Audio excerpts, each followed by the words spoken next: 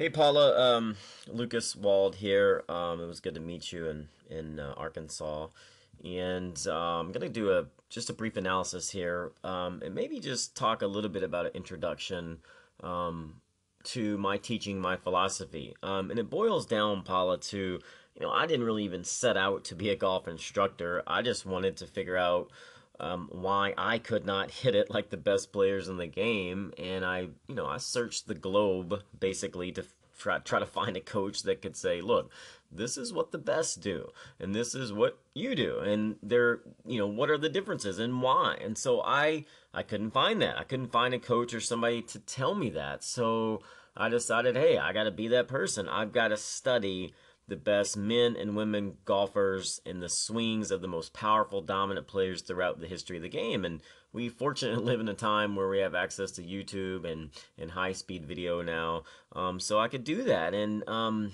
you know, once all those swings were looked at, um, then I had to figure out if those key elements could be identified and what were they. Could they be isolated? Um, was there a core set of movement patterns consistent with the best swings? Um, and then once that was determined, you know, could could those movements be trained? And when I look at someone like yourself uh, here on the left and and others, you you have these movements. This was a year and a half ago. Um, there are reasons why you hit it long, you hit it powerfully. Um, so let's see if we can look at a few of those and determine. Uh, what's changed um, in the swing that I that um, you sent me that's recent. Um, so you on the left here, Sam Snead on the right. So um, again, your what anything that I tell you uh, as far as golf swing mechanics go, the those mechanics will align with the best players. So whether you're talking about Sam Snead or Mickey Wright or Ben Hogan or Louise Suggs um, or Macdonald Smith or Harry Vardon and even in back to the early 1900s, these core movements, the engine of the swing remains and it's consistent with all these greats. So you on the left here, great engine, wide, wide takeaway, right? You're not you're um you're not picking it up, you're not setting the wrist early. It's a little inside and a little bit up with a sorry complete shoulder turn with a little bit across the line. So let's look at Sam Snead, wide,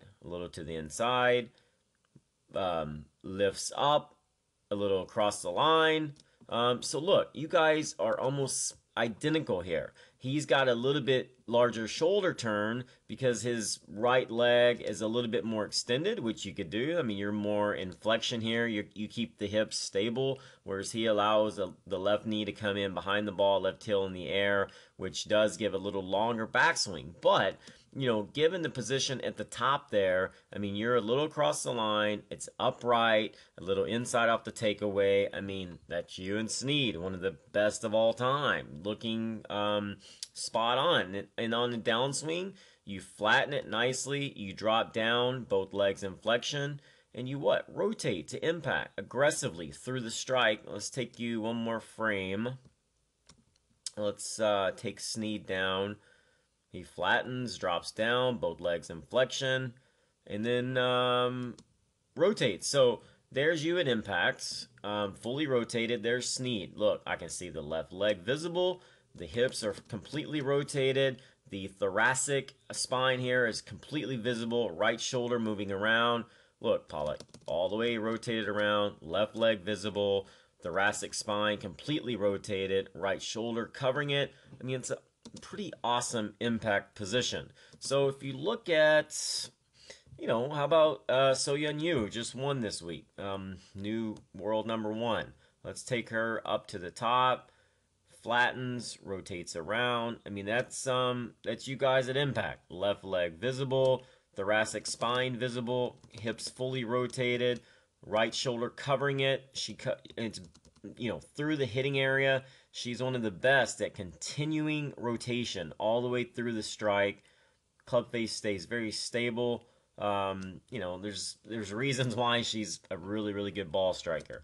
Um, you know, um, again, we could use a number of players. I have JB Holmes I could show you, um, Mickey Wright. We could use others. I'm not gonna go through them, but they all do this. Now, if you look at the swing that you sent yesterday, I think it was.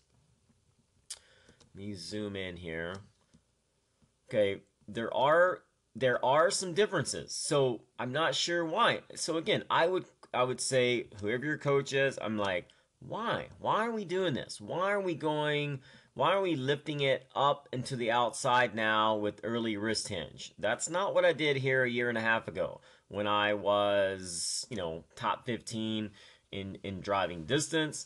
Um, now, now again, you know, I looked up your stats. I know maybe there's not been enough recorded drives this year, but you're down 12 to 15 yards, 10 to 15 yards right now um, in distance. Um, and, you know, it's important because, you know, even on the PGA Tour, if we don't have this on LPGA Tour, sadly, but on the PGA Tour, an extra 20 yards of distance increase equates to 0.75 strokes a round. So over four rounds, that's what, three strokes. So an extra 20 yards. So again, I mean, I'm not all about just distance, but giving up right now for you 12 or 15 yards, that's a lot. And maybe there's a reason why. Maybe it's confidence, but maybe it could be technique. So you, you know, again, you're lifting it up and out, early wrist set, you know, and the backswing is different. It's up, you're up to the top. It's, it's flatter. Um, yeah, it's slightly longer, but the face is slightly more open. Um, your, your hands are a little bit lower um, you know, let's take you back up to this top of the backswing. You know, you were wide on the backswing. It was a little inside, and then it was up and lifted. So it's higher hands here on the left. Um, it's a little across the line, which if you look at Greg Norman, Tiger Woods, JB Holmes, Bubba Watson, I mean, great drivers are typically a little bit across the line. So trying to get a perfect position at the top. I mean, why not look at what the best have done? So you're up to the top here on the left, perfect. This one, uh, I'm not. It's not as good.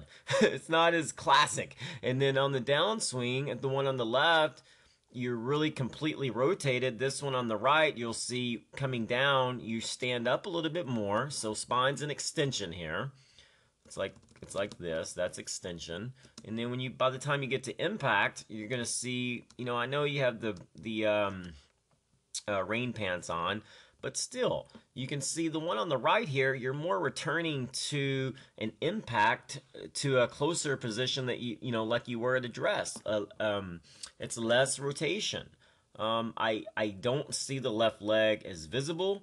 Um, I don't see as much of your middle spine. So this one on the left, we talked about, we use So Yeon Ryu, we use Sam Snead, a complete rotation with left leg visible. Um, this one, yeah, I can see the left leg a little, but not much. And then you can see how the middle part is not rotated either. So then you tend to what? Chase the line more. You have more club face rotation. Um, the arms straighten. And then you bring in, you know, um, some inconsistency off the tee. You know, that's like uh, if you look at somebody like Jim Furyk, for example, who's one of the best iron players in the world. He has a slow closure rate coming through the hitting area. So that's what we want. We want to be able to have club face stability. And how do we do that, Paula? We do that with great rotation, spine in flexion. That's what the best have done. And this one on the right, it's less rotary, it's less dynamic in general. So um, my advice would be study some of your old swings, video it, send me some more. Let's see if we can trend you back in the direction that you were a year and a half ago um, when it was much more rotary, much more powerful, um, and then go from there. So, I mean, I can see clearly that your driver swing has changed. Um, so I guess you need to maybe question and say, why? Why have I made these changes? What what benefit is this going going to uh, have in my uh, in my driving ability which you said obviously you've been struggling with. So uh, let me know what you think on this. Um, definitely can get you back in this uh, swing here on the left and uh, hopefully driving the ball much longer and much straighter paula. So talk to you soon. Thanks again